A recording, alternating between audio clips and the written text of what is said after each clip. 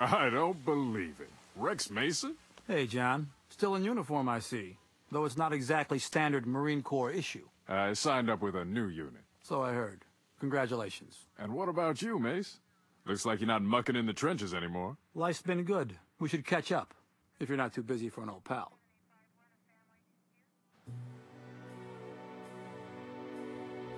Nice place. Sure beats the old barracks. Big penthouse, traveling first class.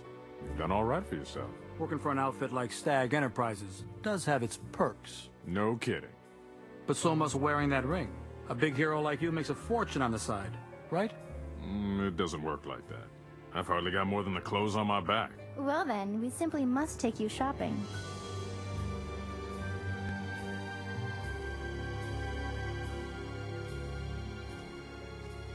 John Stewart, meet my fiancée, Sapphire Stagg.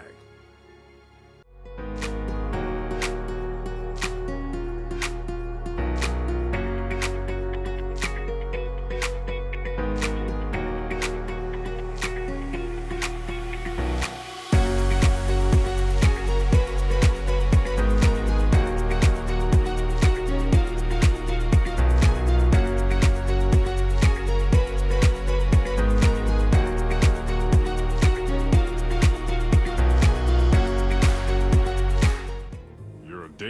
boss's daughter? I told you this job had great perks.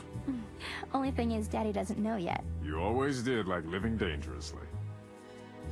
I like a little danger too. Don't you, Mr. Stewart? I take it the old man wouldn't approve. Nobody's good enough for Simon Stagg's little girl. He'd blow a gasket if he found out. I'm gonna dry off, but uh, don't go away, okay? Remember, I saw her first. Something you want to tell me? What do you mean? That train lost control today because of unstable chemicals in the baggage car. It was a mutagen. Only someone working for a company like Stagg Enterprises could get their hands on that stuff. You're crazy. Why would I take that kind of risk? You always said you'd do anything to get ahead. Do I detect a hint of jealousy? Of you? I've got nothing more to say.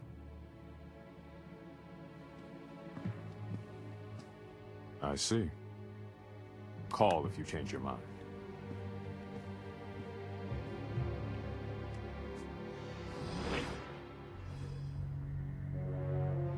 Oh, What happened to your friend? Something came up. What happened? Mason, there's been an accident. Daddy, I just heard! Where's Rex? Is he okay? Darling. What is it? What's wrong?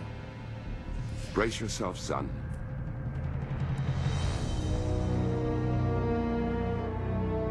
No! No! Cover! Stop him!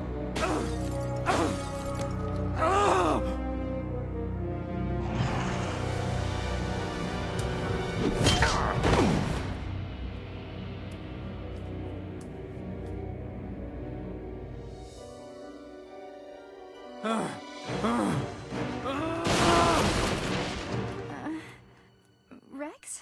Don't worry, princess. I'm here for you. I'll always be here. Oh, Daddy. I heard about the accident. What can I do? I'm afraid you're too late. I can't believe Mason did all this. He didn't mean to, I'm sure of it. Please, you're his friend.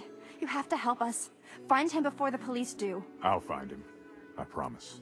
Even if I have to call in the whole Justice League. Thank you, John.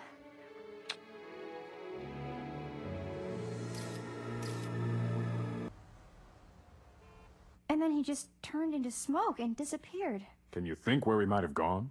No, he, he wasn't rational. There's no telling what he might do. Don't worry. We'll find him.